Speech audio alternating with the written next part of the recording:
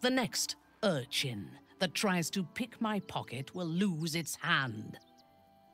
If I take its head, how will it learn from its mistakes? Even here, a child deserves a second chance. Huh. I am reminded of the Braeryn, the stench streets of Menzoberranzan, where the sick and the outlawed make their homes. Despite the destitution, there is profit and opportunity to be found in such places, if one is willing to wade through the squalor. Yes, I only know it through history books and hearsay. A city of murder and grief. I expect it will live up to its legend. You have never visited?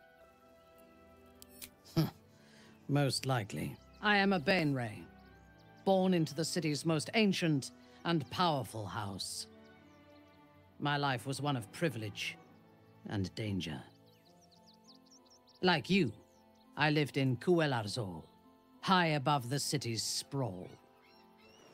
I enjoyed every luxury, whether harvested in the Underdark or stolen from the surface, and I survived my first assassination attempt while I still suckled at my mother's breast.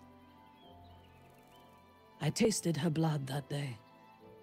She covered my body with her own, and a blade bit deep into her chest, almost puncturing her heart. When I came of age, she tried to take my life herself.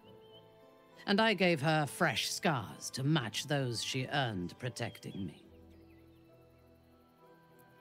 Yes. My house trained me to be a soldier in Lolth's service, and my mother showed me how to survive the perils of society. She taught me to be resilient and to guard my heart from those who cannot be trusted, literally and figuratively. When I choose to let somebody close, I do not do so lightly. That gives a great depth of meaning to the bonds I do share.